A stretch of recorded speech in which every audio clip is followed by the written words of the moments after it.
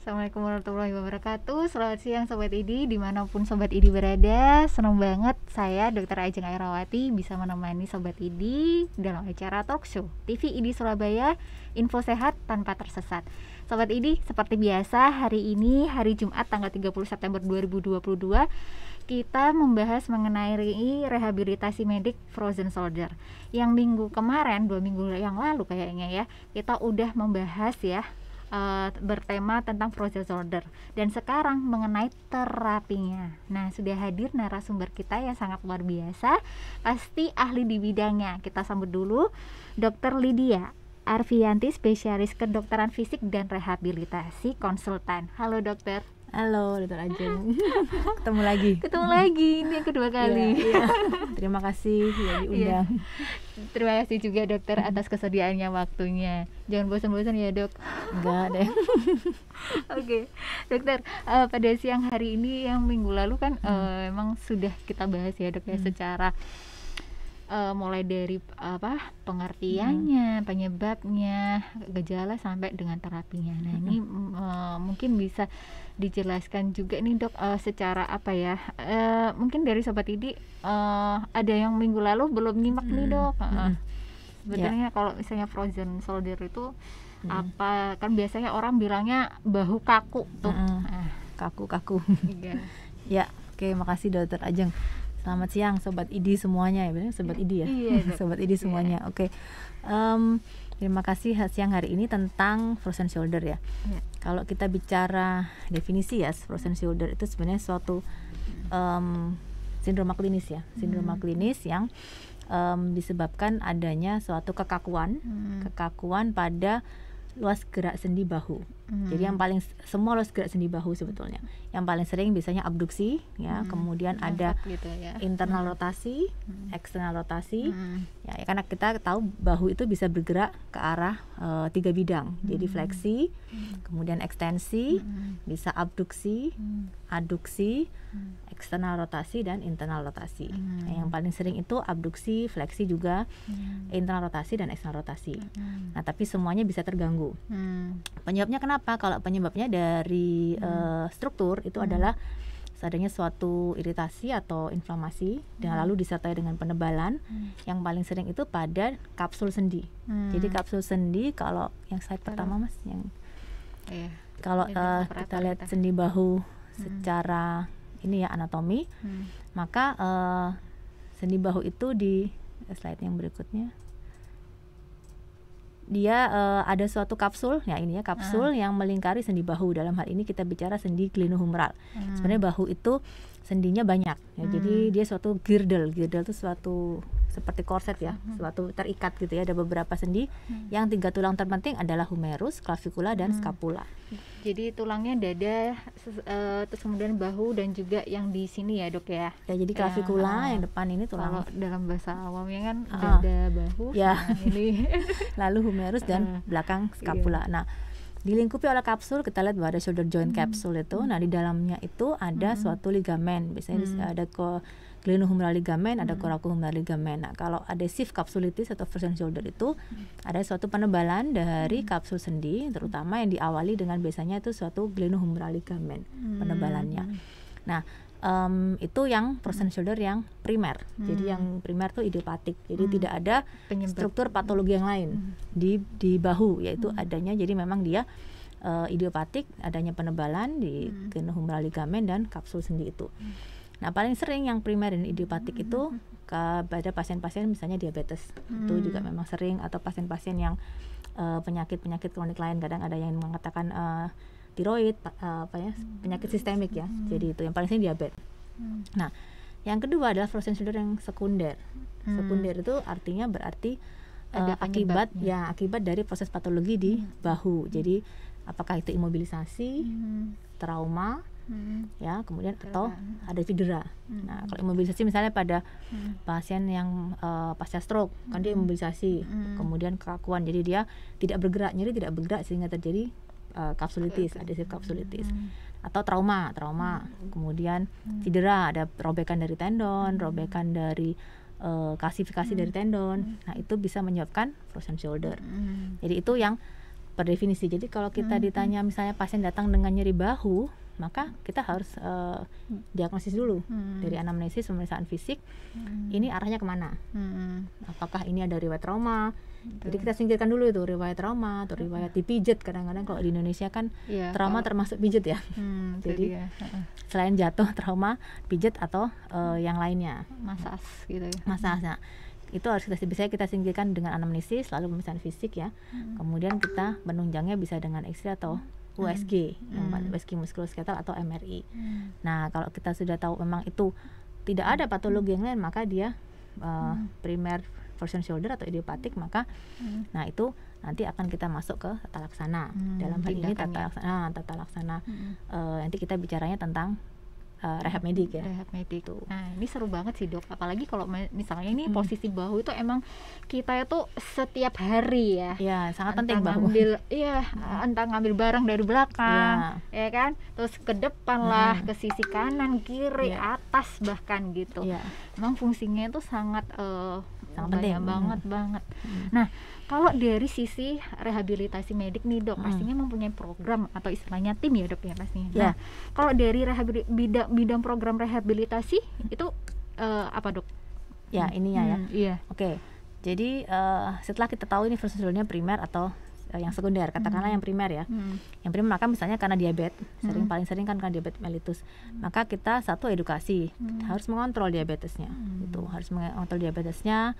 Kemudian kita jelaskan Hmm. ini patologinya di mana. Jadi pasien tuh harus mengerti apa yang Hmm. terjadi Hmm. pada sendinya. Kan sering semua nanyanya bisa sembuh nggak dok? iya betul Bisa sembuh nggak dok? Sudah saya jelaskan ada penebalan, ada ini. Penebalannya bisa hilang nggak dok?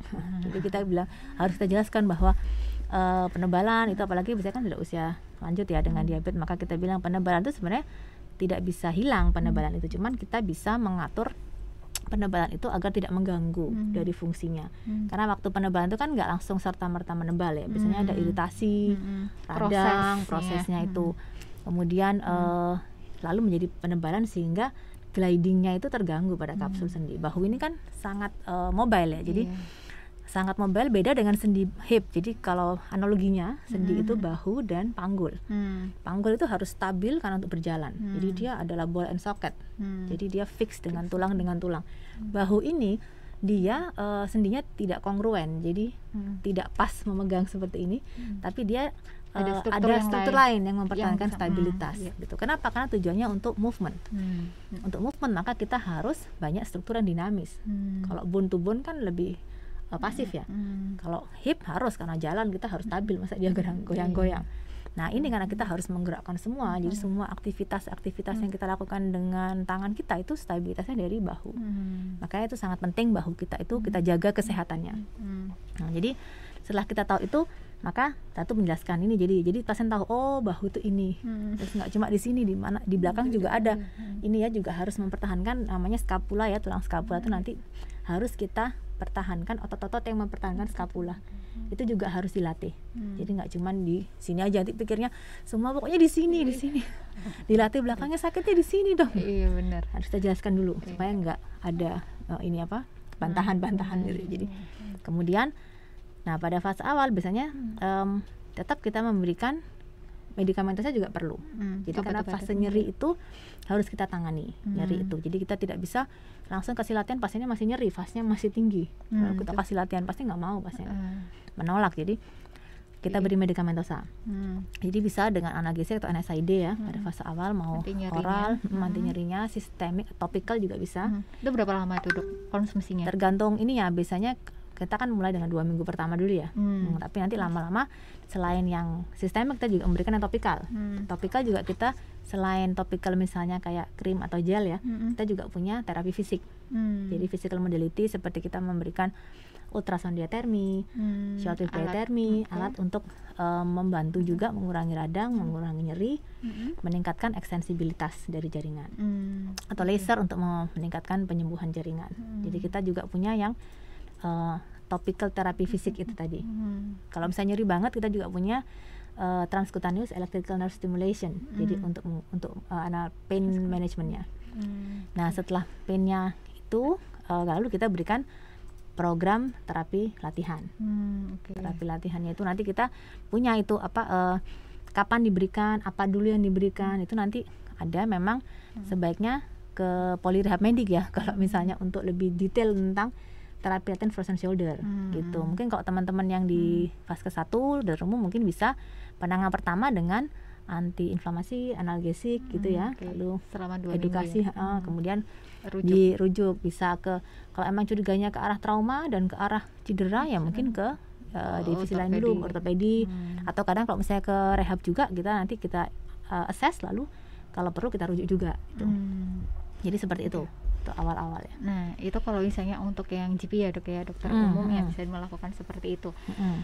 Oke baik. Nah kalau tadi eh, sisinya adalah eh, berarti disembuhkan nyerinya dulu nih sampai Ya. batasnya nyerinya itu berkurang sensasinya. Mm-mm. Nah kapan sih dok untuk dilakukan pelatihan? Misalnya tadi ada juga terapi secara lokal ya dok ya secara Mm. rehabilitik.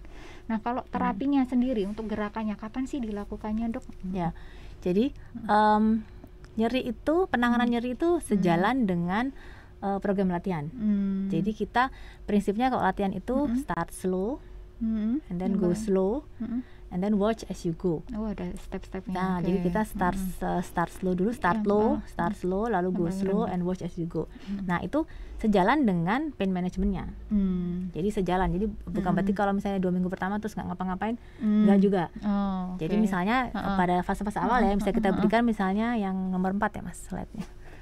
Jadi pada fase awal kan ini prinsipnya kan sen- eh, bahu ini Hmm.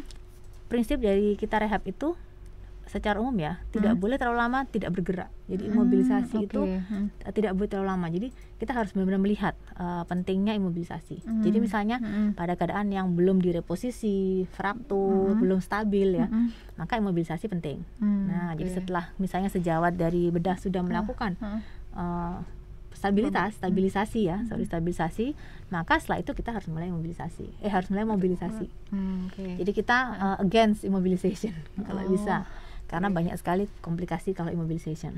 Oke. Jadi misalnya pada fase Jadi ini nih, awal. ah, Misalnya masih nyeri sekali ya, masih Oke. uh, fase akut gitu, Hmm. masih frozen shoulder baru nyeri. Nah, itu biasanya kita memberikan uh, latihan seperti namanya pendulum exercise ini. hmm, Jadi tidak oke. meng- tidak karena kalau pasien awal-awal kan dia menggerakkan aktif dia nyeri. nyeri banget. Digerakkan ya. pasif juga nyeri. Hmm. Jadi nggak bisa digerak. Nah, lalu Hmm, kita benar. menggunakan gravitasi. Jadi seperti ini Hmm. dia pendulum itu artinya dia uh, menggerakkannya dengan nggak kena ya mic Iya. Oh, bisa Atau gini, nih. Ini mobil dok. Apa oh mobil ya ke tangan kayak gini deh nah jadi ini dengan Ah. gravitasi dia menggerakkan dengan badannya dengan terang ya Oh, Ah, dengan jadi- terangnya jadi bahunya nggak gerak jadi dia terangnya kan nanti dia dangling gitu ya Oh iya iya iya. terayun kan kayak- seperti gambar gini ya dok. Jadi eh, ini adalah megangnya Ah, meja, ah, terus megang ini meja. gini, terus ini. gini. badannya yang gerak-gerak Nah, oh, badanmu badannya yang gerak-gerak Ah, gini. jadi dia Oh, menggerakkan oke. kita menggerakkan bahu kita tuh dengan badan kita Oh, jadi dia ngikut aja gravitasi Hmm, gitu. nggak digerakkan kan. Nah, jadi Itu berapa kali dok? Ini. Nah ini bisa em, prinsipnya biasanya latihan itu kita melihat em, melihat kondisi pasien. Hmm. Paling gampang itu kalau saya biasanya memberikan tuh yang pasien gampang ingat misalnya Hmm. 555 gitu atau 666 atau 10 10 10. Jadi misalnya em, lima, lima. Lima lima kali. kali lima kali Heeh, digerakkan digerak. terangnya, Mm-mm. kemudian eh, berhenti 5 detik misalnya, ulangi Hmm. lagi 5 sesi. Nah nanti selama misalnya lima Oh. kali sehari gitu. Oh, Jadi itu baik. pasien kan lebih uh, masuk ya Iya, kalau ha-ha. kita kasih angka Ah, yang sama. Jadi betul. kalau misalnya uh, masih kayak gini mungkin kalau pasien toleransi kan bisa 55 atau 666 misalnya. Hmm, tuh. oke, kalau yang ngerti ya bisa sampai sampai 10. Jadi misalnya ini contohnya fase Hmm. awal. Jadi Hmm. tetap ada uh, gerakan tapi bukan aktif dari pasien dan mungkin pasif juga belum terlalu. Hmm, jadi- Lalu dengan ya dengan gravitasi Badannya. namanya pendulum exercise ini kan. Heeh. Jadi pegang gently rock your body ini kan. Jadi Yes. badannya yang di rock untuk menggerakkan uh, shouldernya gitu. Oke. Tapi itu emang harus bertumpu ya dok ya? Ya, Yang karena- sisi sisi yang yang tidak sakit. Yang tidak sakit karena kalau nggak bertumpu kan susah ya. Hmm. Gerak sebenarnya bisa aja kalau dia mau, tapi kan biasanya kita ini supaya kita benar-benar fokus di Heeh. em, apa gerakan Ah, ayunannya maka yang- biasanya bertumpu Oh, Biasanya gitu. baik dok, baik, baik dokter. pada fase awal. Hmm. Ini eh, Ajeng juga mengingatkan ya buat sobat idik bila ada pertanyaan silakan aja tanya di channel YouTube kita di TV ID Surabaya ataupun di Instagram ID Surabaya yang langsung nanti dijawab oleh narasumber kita. Nah ini udah eh, ada yang bertanya nih dok dari sobat ID, eh, Ajeng izin bacakan ya dok. Ya. Oke, bentar. Eh, dok, saya izin tanya, apakah salah gerak atau salah tidur hingga ter- terasa seperti kram itu termasuk frozen soldier? Oh, ini berarti, aduh, ini, Maaf ya. eh, ini berarti eh, pertanyaannya mungkin kayak eh, penyebabnya ya dok ya?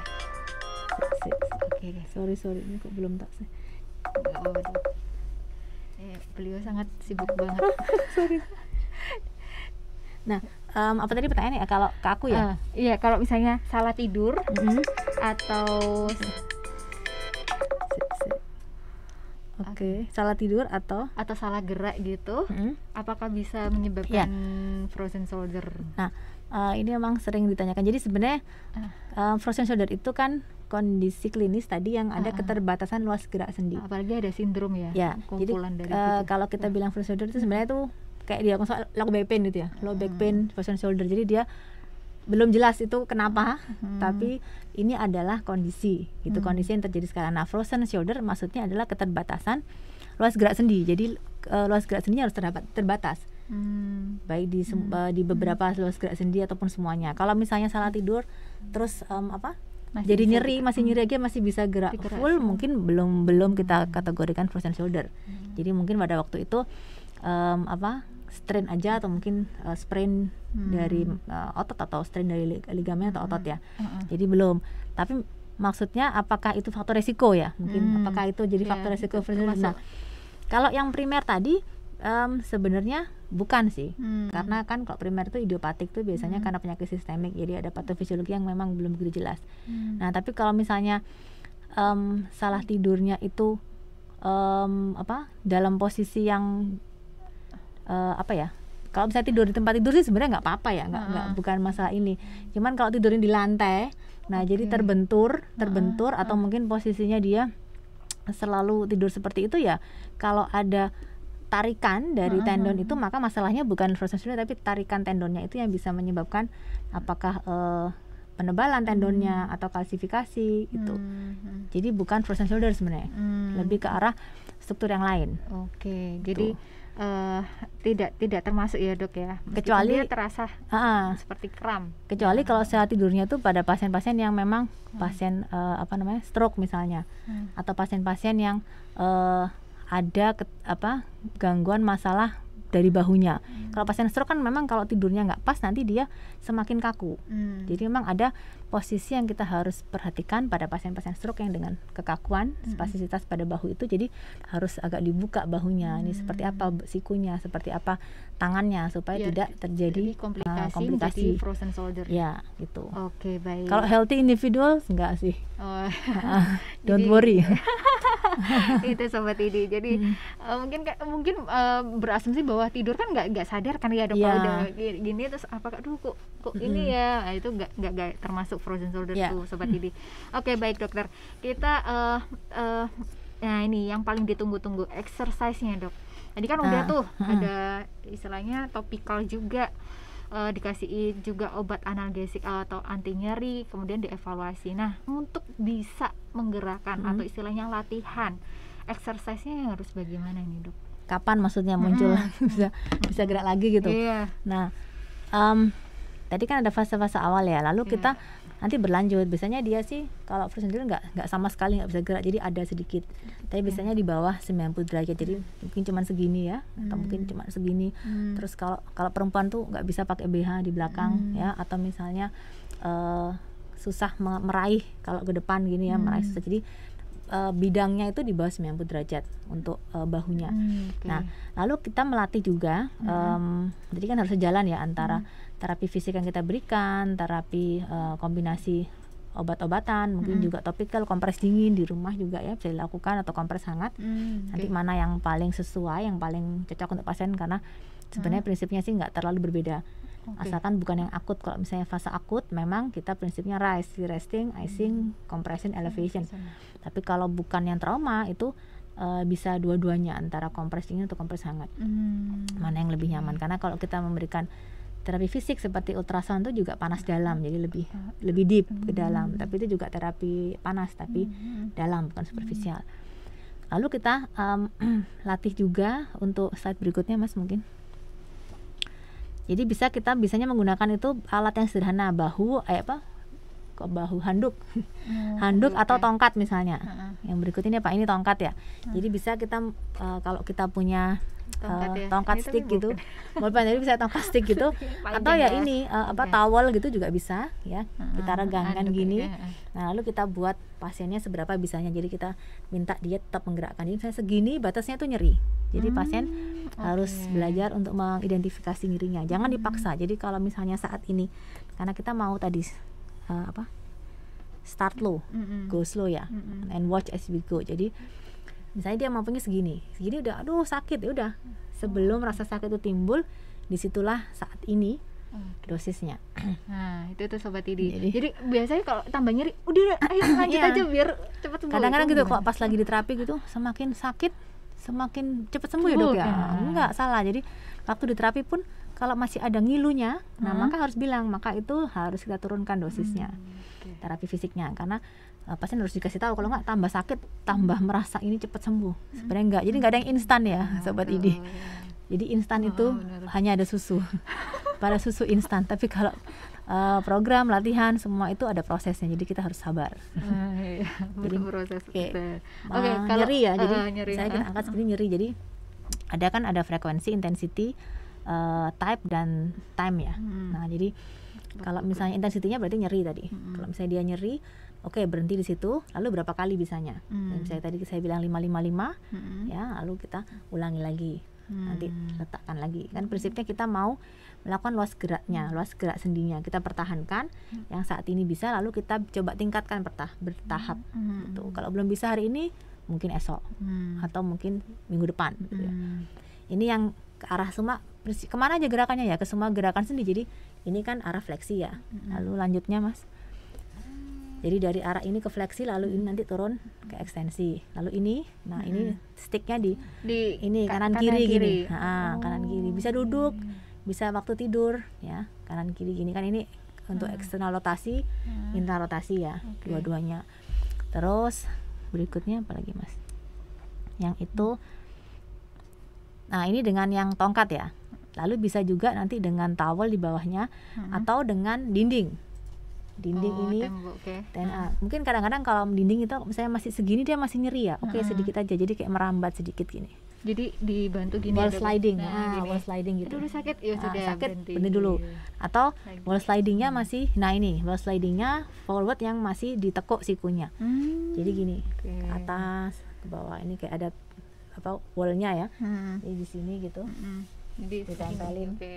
ke atas ke bawah karena ini disangga jadi kan nggak berat Oh. kalau kalau misalnya kita langsung gini kan ini Ah, sikunya bebas kan sakit sakit. nah oke. jadi nanti orangnya gini. Oh. jadi yang harus dikasih tahu juga yang betul seperti apa karena kadang pasien pokoknya gini Ah, ah, ah, ah. nah supaya uh, outcome-nya naik ya dok ya bukan outcome-nya bukan naik tapi pakai bahunya nyinceng gini yang kiri outcome-nya adalah kita bahunya tetap rileks ininya yang naik dari sininya Hmm. jadi nggak perlu ininya bantu-bantu sampai Iya iya sampai dia Ah, merah makanya gitu. gitu. Oke. karena pikirnya dia kalau naik bagus kan Full.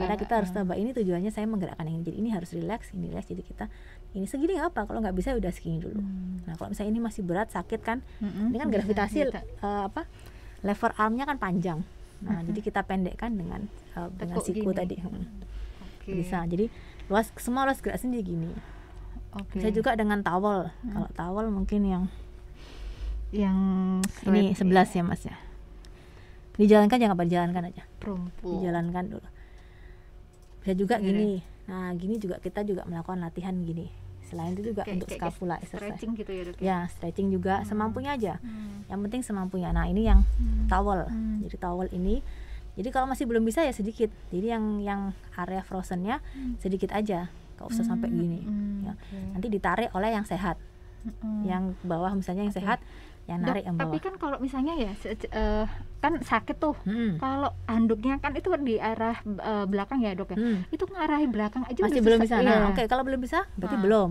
belum Oh, dengan belum tahap seperti ini belum atau Hmm. misalnya yang sakit itu yang Mm-mm. sisi kiri contohnya yang ini ya Hmm. jadi dia masih ringan aja di bawah gini Hmm. Jadi bukan yang iya. yang kanan yang kanan yang naik itu bukan itu yang sehat Hmm. jadi yang ini nanti dia ditarik sama ini sedikit jadi kita uh, tujuannya ke endorotasi eksternal rotasi Hmm, oke. yang diarahkan. Tapi kalau misalnya masih gini aja masih sakit ya udah kita coba yang yang tadi stick tadi angkat gini. kiri, sama atas mungkin wall slide gini. Hmm, kadang-kadang juga bisa yang gini model apa? Nyetir ya? Ha-ha, Hmm. apa tuh namanya? Kayak tapi ada beban Roda. di sini ya ada roda. Ya. roda yang di atas. Tapi Roda. kalau nggak ada ya ya gimana, kalau nggak ada ya udah. Dan jangan tinggi-tinggi kan gini. Di tali aja di mana kan bisa doorknob atau oh, eh, sesuatu yang kayak ada melingkar ada ya. tali ya melingkar Ha-ha. gitu ya nanti tinggal gini jadi yang penting itu bisa juga ke belakang dan ke depan ditarik gini Hmm. jadi maju mundur gini Ya, Oke. jadi memang Hmm. biasanya kita menunjukkan ini ini saya ambil dari Hmm. um, home exercise program dari luar ya memang Hmm. tapi biasanya kita juga ada leaflet leaflet tadi aku lupa nggak bawa ya yang punyanya Rehab Sutomo jadi ada leaflet-leaflet yang pasien bisa melakukan di rumah Man- mandiri. Nah, apa Hmm. aja nah tapi Hmm. memang sebelumnya Hmm.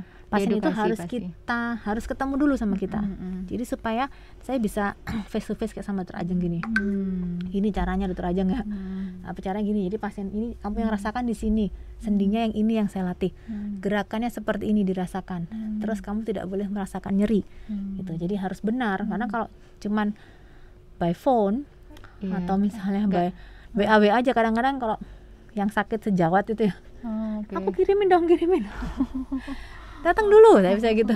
saya tunjukkan saya kasih tahu saya ajari jangan cuman kirim-kirim itu salah nanti kan. Nah kadang kita Dok, kurang tapi profesional. ka- kalau kalau ini ya kalau misalnya posisinya misalnya nih Hmm. udah dok dipaksa aja. Nanti akibatnya apa ini?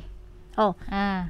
Dipak kalau misalnya Iya, kita nyeri, paksa. eh, eh, ya nyeri. nyerinya satu nyerinya akan bertambah. Hmm. kalau nyeri bertambah inflamasi. yang udah maju mundur lagi deh. Maksudnya jadi kan dia udah nyeri, udah nyerinya berkurang nih. Heeh. kita udah nyeri udah ber- berada pada fase eh, nyeri yang eh, istilahnya fase-nya turun moderate. Oh oke. Dari naik moderate menuju ke mild.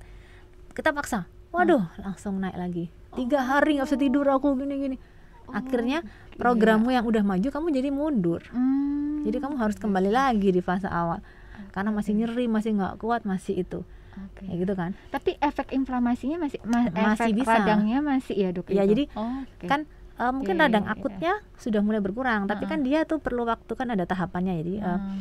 eh, pertama dia freezing lalu frozen terus nanti Iya. jadi thawing. Thawing. jadi mulai ini jadi nah kadang sambil menunggu itu nah itu tadi kalau apa kita maksa Hmm. bisa mulai dari nyerinya bertambah sehingga ada program mundur atau kalau maksanya nemen Heeh. nemen itu Eh, berat terlalu, ya eh. terlalu keras dan mungkin memaksa dengan beban atau apa itu bisa juga ada resiko robekan Hmm. karena kan sesuatu yang masih belum bisa bergerak maksimal dipaksa nah bisa kan ada Hmm. robekan Hmm. gitu karena kan dia belum terlalu panjang Hmm. itu yang yang bahayanya seperti itu Bahayanya itu, seperti Jadi, itu. Hmm.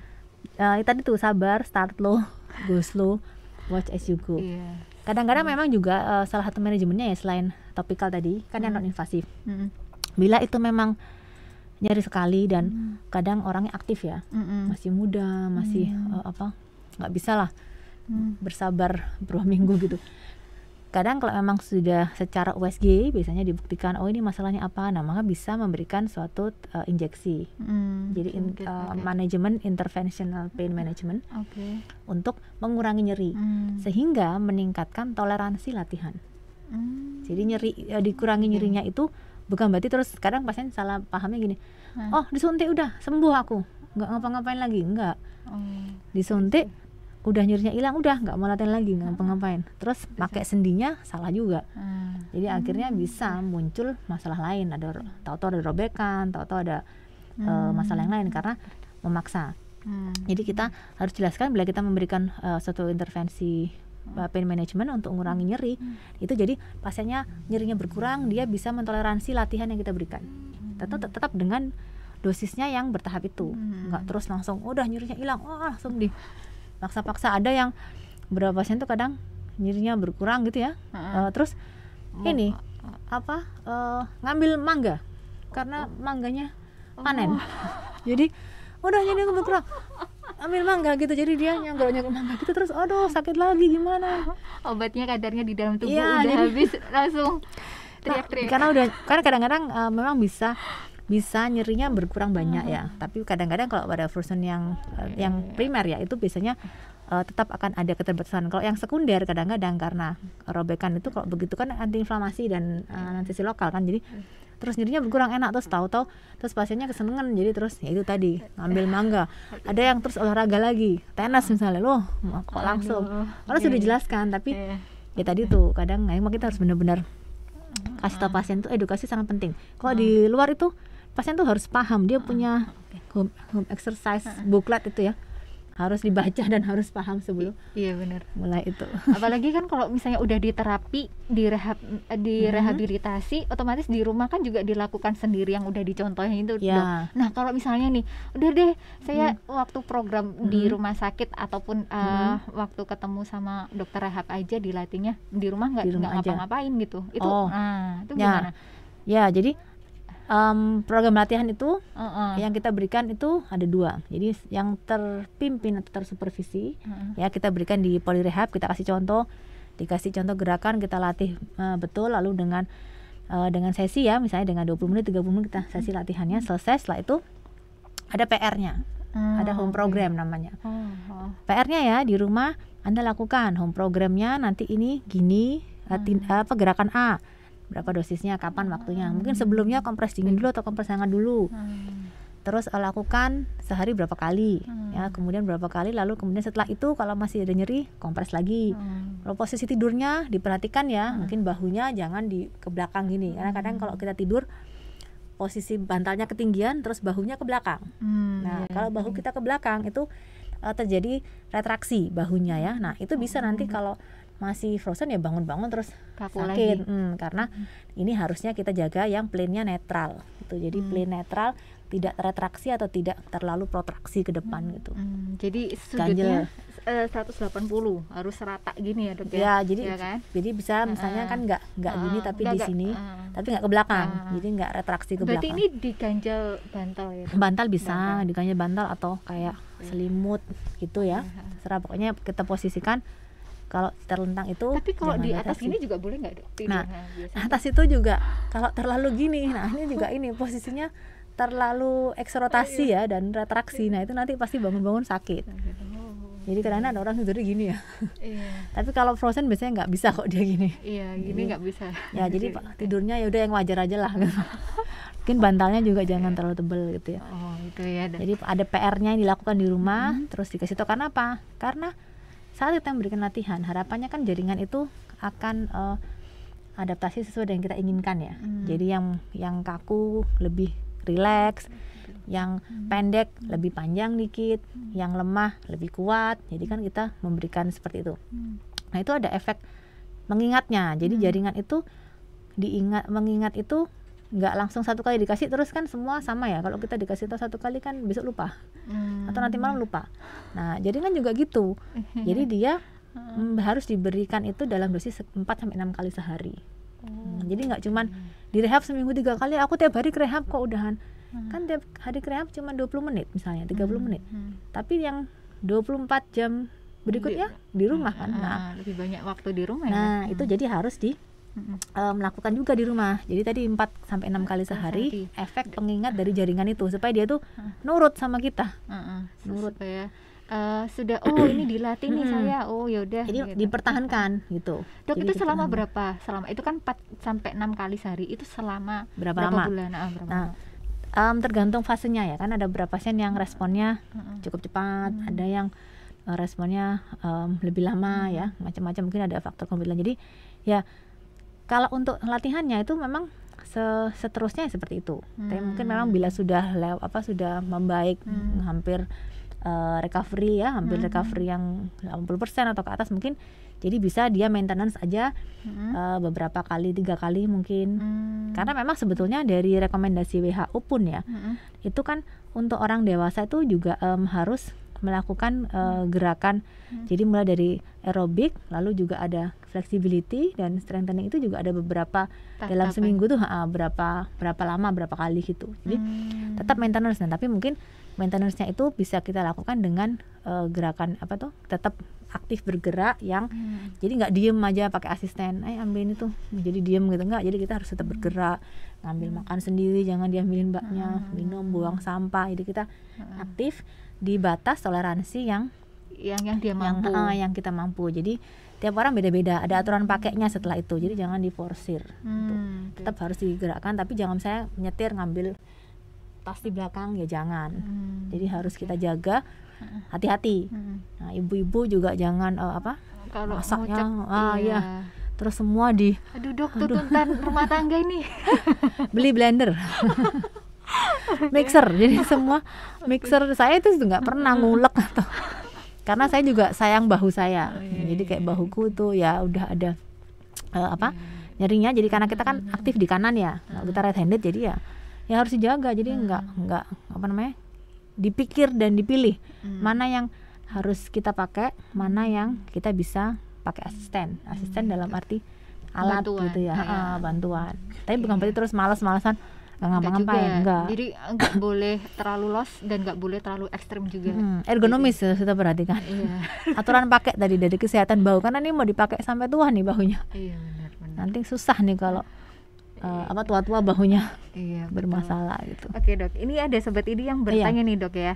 Ajeng izin bacakan ini dari Ibu Sri Winarni. Mm-mm. Izin bertanya dokter, saya kalau mengambil barang di ketinggian Mm-mm. bahu tiba-tiba terasa nyeri, Mm-mm. tapi kemudian hilang. Begitu seterusnya. Bila Iya. melakukan gerakan yang sama, apa yang saya harus diterapi? Kalau mau terapi ke mana? oke Bu Gimana, siapa tadi? Ibu Sri Winarni. Ibu Sri Winarni terima kasih pertanyaannya Bu Sri Winarni jadi ada gerakan tertentu yang memprovokasi nyeri ya Bu Sri Winarni ya Hmm, ya. Ya, Pada tadi- saat ngambil barang di ketinggian. di ketinggian Ya, ada ada. ada nyeri tahu-tahu Iya, nyeri bahu. terus hilang ya. Hilang. Oke, nah biasanya itu berarti kalau di ketinggian maka kan ini memerlukan luas gerak sendi dan juga eh, tendon, tendon yang untuk abduksi dan fleksi. Jadi biasanya tendon rotator cuff yang paling sering supraspinatus. Itu. Nah kemungkinan ini usia berapa ya ibu sebenarnya? Mohon maaf. Eh, belum disebutkan. Oke, disebutkan. misalnya usianya ibu udah lebih dari 50 ya atau udah lebih dari 60 jadi yang udah mulai memang kan ada proses degenerasi penuaan ya. Nah yang sering itu memang em, ada penebalan tendon atau ada kalsifikasi misalnya dari tendon atau em, ada kadang-kadang bisa juga ada cairan misalnya atau ada osteofit jadi yang eh, early early osteoarthritis atau early osteofit. Nah itu taunya dari mana? Nanti biasanya kita USG dulu bu. Kita pastikan ini masalahnya apa. Tapi dari klinis kira-kira berarti ada gangguan gliding dari bahu. Tendon ha tendon pada waktu menggerakkan ke atas ke belakang ke ini. Jadi yang lebih dari 90 ya. Nah jadi ada gangguan gliding itu sehingga atau jadi ada gangguan gliding bisa karena dia tebal atau bisa karena ada sesuatu yang lain. Jadi kalau klasifikasi itu kalau dia bergerak kena bursanya nah maka kan nanti dia akan men- apa bergesekan ya. Bergesekan dan ber apa tuh ya bertum apa ber- ini ya bertemu dan bergesekan nah itu yang akan menyebabkan nyeri. Tapi setelah itu enggak karena kan udah dia nyerinya kalau bergesekan aja. Kalau kita diam kan nggak bergesekan. Jadi gitu. Itu yang pertama jadi nanti kita bisa dipastikan monggo bu kalau mau konsultasi ke poli rehab medik. Hmm. nanti kita pastikan kira-kira apa lalu kita beri advice eh, tes- apa tergantung dengan Terapi, kondisinya. kondisinya. Hmm, kalau memang tidak mengganggu sehari itu hanya gerakan tertentu saja maka kita tahu oh berarti gerakan ini mungkin Hmm. em, karena ada gesekan tadi itu. Hmm, itu iya. Berarti harus dicari tahu dulu ya dok ya. Habis itu eh, kemudian dilakukan terapi yang sesuai dengan ya. kondisi terapi eh, si pasiennya gitu. Ya. Oke dokter.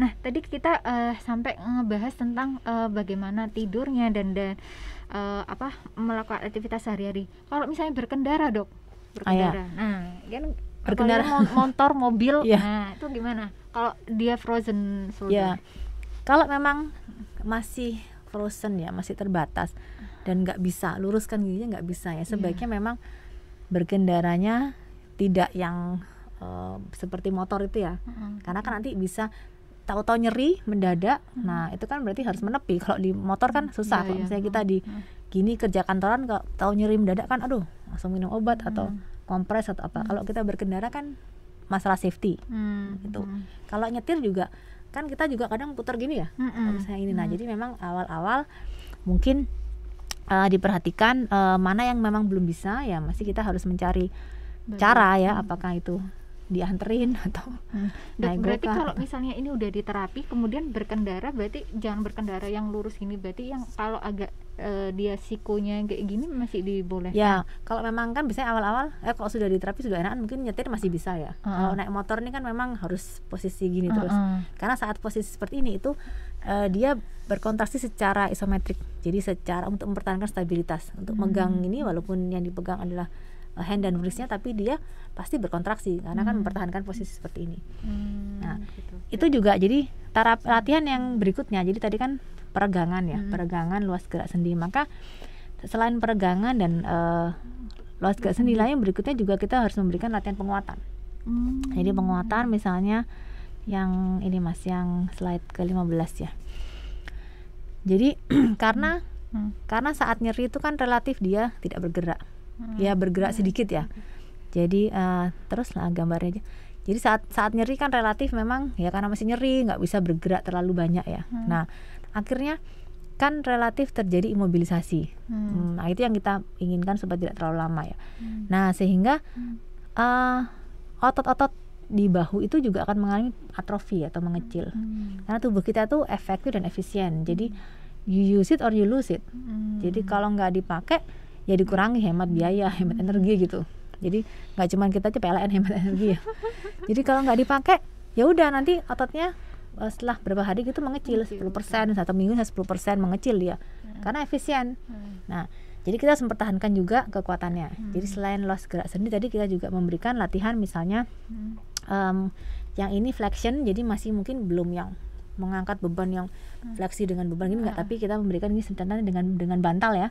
Dengan bantal kita dorong dorong bantalnya jadi kita tetap dorong bantalnya ini akan berkontraksi deltoid anterior Oh, untuk iya. menguatkan Jadi bantalnya itu ditempel ke dinding. nah dinding gini. terus kita dorong nah ini Oh, kan iya, push your baik, fist jadi dorong apa eh, ininya Hmm. fistnya didorong ke bantal soalnya kalau nggak dikasih bantal kan sakit Hmm. jadi kasih bantal Iya, iya. Terus misalnya yang semua se- gerak sendi saat berikutnya mas ini yang nggak refleksi ya. Lalu yang ekstensi, nah ini tekan ke belakang pakai bantal, gitu.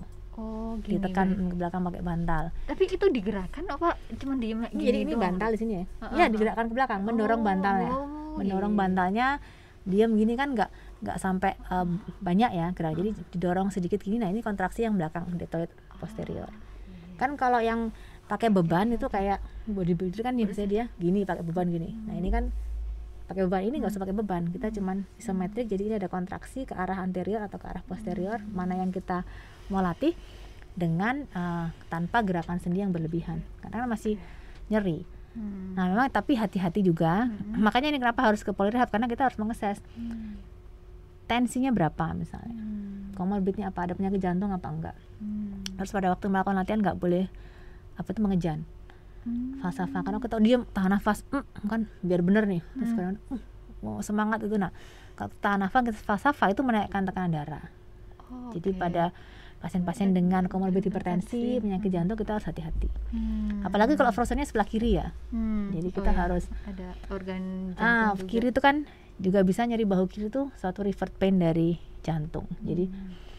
ya semua sih kanan juga bisa teman kiri lebih sering ya kiri atau jadi kayak daerah sini kiri paling sering itu kiri tapi kanan juga bisa Hmm. makanya tetap kita harus perlu assessment di awal itu komorbidnya kemudian faktor risikonya apa lalu untuk safety dan precaution latihan Hmm. mungkin kontraindikasi latihan juga Oh, oke. jadi kalau pasiennya kontraindikasi jadi misalnya dia nggak selain selain masalah medik juga masalah kognitif misalnya Oh, nggak oke. bisa nih diajarin Udah bingung nggak ada gangguan kognitif Iya. jadi mungkin harus ada caregivernya harus kita juga jelaskan Nah, itu Gitu itu beda beda kasus juga ya dok ya ya jadi kadang-kadang kan frozen kan juga pada yang tua juga bisa ya jadi Hmm. nah, yang penting tadi kalau tadi medis sih safety-nya kita Hmm. latihan itu karena kita masih banyak bermain di daerah isometrik masih yang belum apa mungkin nanti beban juga pasti ya Hmm. yang menaikkan tekanan darah jadi Hmm. itu sangat penting kita harus eh, evaluasi dan Evaluasi. monitoring gitu. Oke, dok kalau dari sekian ini ya terapi udah dilakukan seberhasil, maksudnya dikatakan berhasil Mhm. atau dikatakan oke mo- eh, bisa Membaik. ya membaik seperti ke- rujuk balik gitu seperti kembali normal Ah. ya dok ya. ya Itu bagaimana dok? bagaimana ya Iya. Em, yang jelas parameternya biasanya kita kan Hmm. melakukan parameter klinis dan uji fungsi ya yang pertama nyeri Hmm. jadi bisa pakai fast visual analog sc- eh, score ya. Fastnya udah kalau mak kategori jadi nyeri yang kalau bisa kan bebas nyeri. Misalnya nggak bisa tertoleransi Hmm. jadi dalam aktivitas sehari-hari dia tidak terganggu dengan nyerinya. So tolerable pain ya. Minimal all tolerable pain. Jadi fasenya udah minimal. Itu kan dikatakan dia mengatakan di bawah tiga gitu ya. Lalu pas gerak sendi. Pas gerak sendinya em, kan itu perlu waktu. Fase sampai towing itu bisa macam-macam. Bisa sampai bulan sampai tahun Oke. jadi nah itu em, luas gerak sendinya fungsional Oh, kan kalau normal itu fleksi em, 0 sampai 180 yes. nah, abduksi 0 sampai 180 nah 180, kemudian ya. iso rotasi dia bisa nih bisa gini semua ya Mm-mm. terus kemudian bisa full gini Nah, em, kalau misalnya dia belum bisa maka kita goalnya ke fungsional dulu Hmm. Kan sebenarnya kalau kita sehari-hari itu kita nggak perlu meraih sampai tinggi, tinggi. Nah, kita Oke. kan paling misalnya makan minum kan 90 is oke Oh, kalau ke atas Jadi tuh kan mau ini jemur ya. Heeh. duduk berarti istilahnya fungsinya kembali ke ya normal fungsional untuk ADL aktivitas sehari-hari. Ah, itu eh, istilahnya nggak nggak mungkin gitu? Ah bisa bisa. Bisa kan? bisa bisa Oh, kembali oke. bisa Ya. tergantung dari kan tadi tergantung dari kan tiap pasien tuh beda-beda. ada modalnya ya. Sta- stabilitasnya Nah, juga. jadi faktor yang faktor pasien yang eh, tidak bisa dimodifikasi Mm-mm. sama faktor yang modifiable. Ya jadi kalau misalnya modifiable kan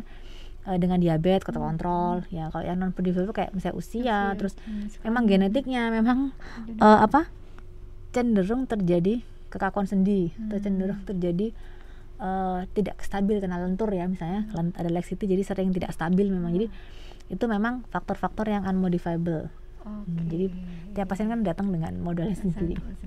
Nah, tapi sebenarnya bisa aja, bisa sampai yang membaik pun bisa. Tapi nanti misalnya tidak yang full, Mm-mm. jadi harapannya harus disesuaikan. Mungkin em, diusahakan sampai full kembali recovery. Namun em, kalau misalnya nggak bisa tuh fungsional dan eh, achievable dan pasiennya juga em, bisa menerima. Hmm. Jadi kita menyamakan Jadi- ininya. Karena kalau penebalan itu kan sesuatu yang udah tebal biasanya ya memang agak sulit di nggak bisa ditipisin lagi gitu. Iya. ditipisin lagi nggak bisa tapi um, at least iritasinya minimal radangnya minimal. Jadi dia masih glidingnya oke tapi mungkin jadi ada yang oh 170 nih ada rasanya aku. Nggak bisa lagi 180 ada rasanya udah terus diterima. Oh. Hmm, misalnya emang sudah optimal ya. Jadi nggak harus diterima. Toh kan nggak perlu 180 emangnya ini ujian gitu harus bisa 180 ye gitu kan perlu. kan kita tidak perlu juga gitu ya nah jadi uh, fungsional yang penting bisa berkendara bisa bekerja bisa tidak mengganggu aktivitas sehari-hari. Hmm, hmm, hmm. Oke, Dok, kalau misalnya ini olahraga, misalnya Eh. ah, udah diterapi nih, oke, udah fungsinya Hmm. eh, bisa ngangkat 175 lah kayak gitu. Nah, Hmm. olahraga saya juga pengen olahraga nih, Dok. olahraga ya oke Dianjurkan. kalau misalnya return to kan sport tergantung apa ini rekreasional atau profesional kalau kita Oh. bicara profesional tuh lain lagi kan Oh, nanti gitu. ada ada ininya ya apa eh, guidelinesnya Oh. nah kalau yang eh, rekreasional ah. maka biasanya em, stadium kalau frozennya itu udah membaik dengan luas gerak sendinya udah lebih baik dan dia lebih fleksibel ya Mm-mm. maka eh, recreational sport nah itu kita pilih saat ini apa nih misalnya di tiga bulan pertama saya nggak olahraga sama sekali boleh jalan boleh Hmm.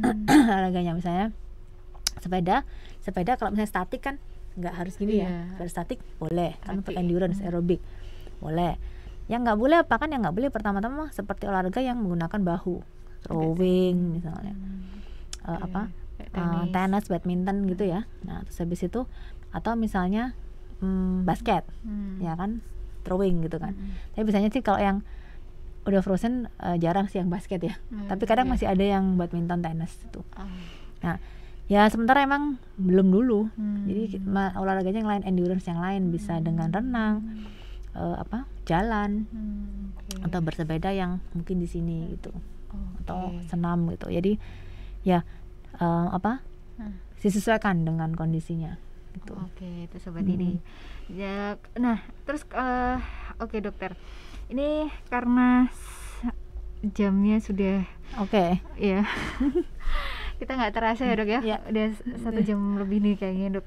Eh, dan juga dari sobat ini udah nggak ada yang ya bertanya. oke Eh, sebelum ajang closing nih, Dok, Hmm. untuk eh, tips dan triknya bagi mereka Mm-mm. yang uh, frozen soldier Mm-mm. terus uh, pingin deh kembali seperti Ya. normalnya tuh gimana dok? Ya oke. Dari sisi rehabilitasi ya. tips triknya em, jangan putus asa tetap semangat dan em, memang perlu kesabaran. Jadi kita perlu kesabaran memang kita perlu assessment ulang reassessment. Nah em, kadang-kadang memang bisa misalnya di satu tempat yang mungkin fasilitasnya kurang lengkap ya. Hmm. jadi bisa mencari yang opini second opinion misalnya ke rehab yang lebih lengkap fasilitasnya misalnya kadang-kadang kan beda kalau misalnya rehab di eh, perifer ya yang mungkin apa namanya fasilitas terbatas Iya. jadi mungkin belum optimal Mm-mm. jadi terapi eh, rehabilitasi konservatif untuk non invasif untuk menye- apa memperbaiki fasilitasnya mungkin belum optimal Hmm. bisa ke yang lebih tinggi tingkatnya misalnya untuk mendapatkan lebih komprehensif Hmm. dan em, memang hubungan dokter pasien sangat penting untuk em, tahu ini ke depannya gimana programnya apa prognosisnya bagaimana terus bagaimana eh, edukasinya Hmm. nah jadi tapi em, intinya sih pasiennya harus nyaman Hmm. dan memahami dan mencari dokter yang yang bisa memahami juga Hmm. dan nyaman tapi em, selalu ada harapan Hmm. jadi kalau Hmm, kita tuh prinsipnya rehab itu um, optimizing function ya jadi Hmm. misalnya ti- belum no- tidak normal pun kita akan mengoptimalkan functionnya dengan sehingga kualitas hidupnya meningkat Hmm. Tuh, jadi sama-sama gitu Hmm, oke. tapi dengan exercise yang penting intinya adalah tetap aktif bergerak ya physical activity itu sangat penting dan sabar prosesnya. dan sabar dan nanti ada aturannya atau pakainya jadi ya gitu mengikuti. Ha, mengikuti Ya, itu seperti ini. Dok, ini ada Oke. yang bertanya Oke. tempat prakteknya di mana? Oh, tempat boleh kalau Iya dok, silakan disebutkan. Kalau sehari-hari saya di Dr. Sutomo, bisa di Rumah Sakit Dr. Sutomo. Kemudian eh, ada juga saya di Jalan Trunojoyo 59. Oke. Gitu. Di- Tempat praktek ya, mandiri kalau ya? kalau yang mandiri di Trunojoyo 59. Kalau misalnya yang di rumah sakit itu Rumah Sakit. Sutomo.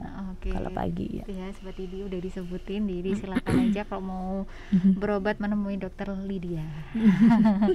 Oke dokter-dokter, eh, sekali lagi terima kasih yang tak tak terhingga atas waktunya Hmm. Terima udah kasih. diberikan dan terima kasih buat sobat ini dan juga eh, udah bergabung dan bertanya dan terima kasih juga nih pada Mas Iqbal yang bertugas.